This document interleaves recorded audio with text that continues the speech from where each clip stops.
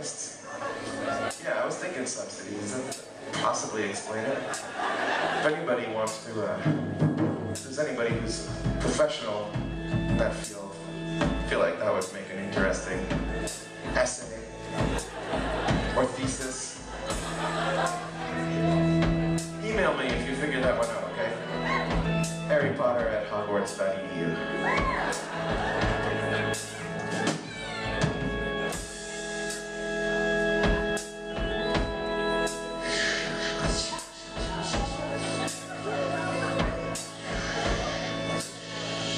You guys for coming to this show tonight.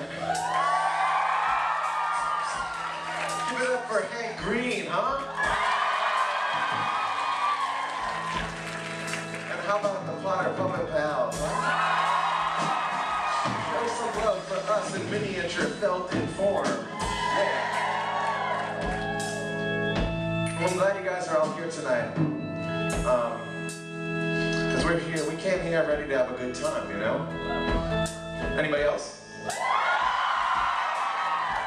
Well, that's good. But uh, let me tell you, it's not it's not all fun and games for Harry and the Potters, you know, because uh, sometimes you never know when Voldemort or some Death Eaters might show up. Because it turns out Voldemort has really got something against us. Yeah, it's true. He keeps trying to kill us. So, um, just want to make sure everybody's ready in case that that should happen tonight. I mean, we did put our tour dates up on on the internet, you know, and so maybe Voldemort, maybe he's watching the internet. I don't know, but all the same, I just want to let you guys know, have the wands ready just in case, because we're not we're not like the best wizard, you know. Like we try and get by on some other things, because we've learned that there are powers out there that Voldemort fails to comprehend, you know, powers he either misunderstands or fails to grasp. You know, like the power of a mother's love for her magical baby son, am I right? Saved my life. Yeah. And then there's like the power of friendship too, you know, like that contained in the awesomely magical trio of Harry Potter, Ron Weasley, and Hermione Granger, Horcrux's Destroying Machine, Hogwarts Class of 98.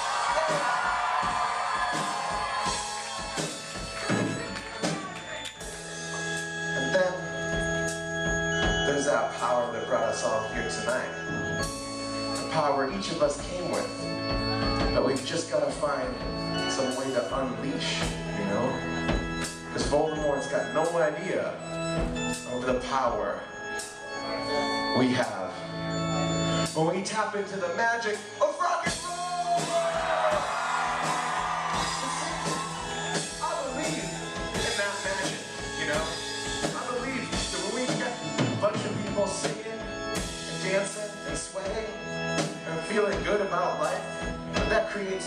Kind of magic. And that's the magic of rock and roll. And I believe that we can create that here tonight. So I want to know if you guys are ready to join us on that magical journey. Are you ready to go down deep into the belly of Hogwarts with us here tonight? Because I ain't talking about no basement. Basement, you say no. I ain't talking about no basement. No.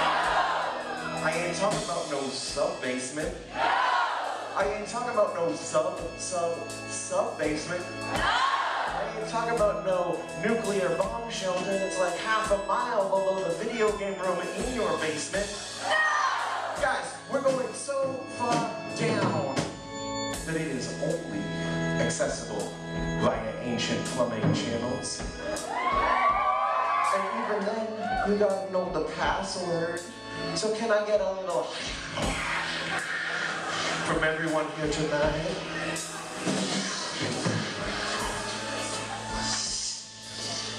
Oh yeah, you're speaking my language now. I hear loud and clear. I just got a few questions for you. Are you scared to walk through the hallways? Are you worried that the spiders run away? Are you petrified of being petrified? And are we going to have to save the school again? We've got